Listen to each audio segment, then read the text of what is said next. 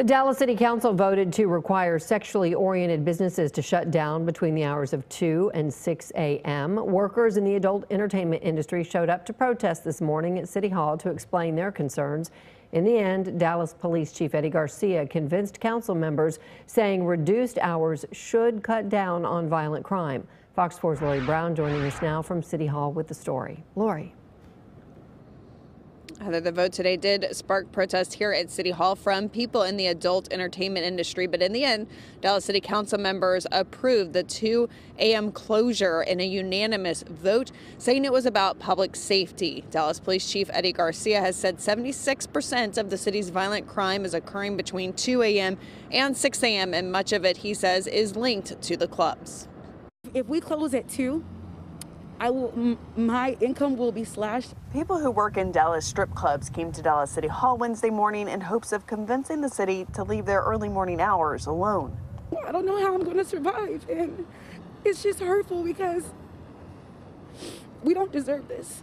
Some single mothers said that the overnight hours are how they make ends meet without having to get daycare this is kind of like where where where my money and my income comes from. So I got to take care of my, my family on my own. I like the hours that I work. It gives me time to go home and wake my kids up, take them to school, go to sleep, and then when my kids come home from school, that's when I wake up, take care of my kids, get them ready um, for their sports activities, homework, dinner, and then after that, I can go to work.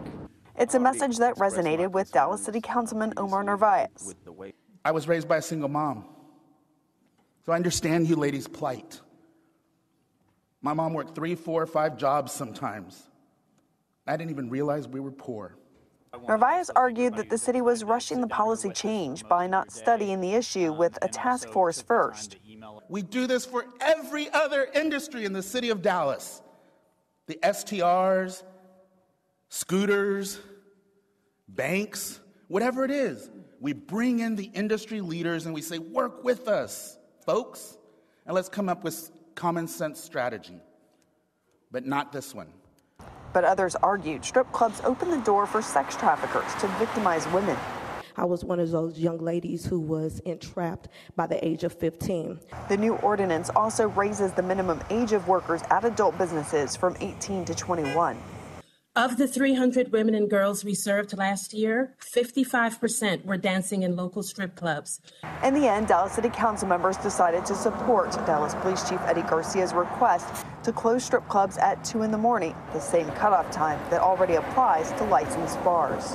When we've asked our police chief and we've asked our city manager to go find us the, the best police chief, and he comes back to us with a tool that will help us reduce crime. I feel it is we should listen to him.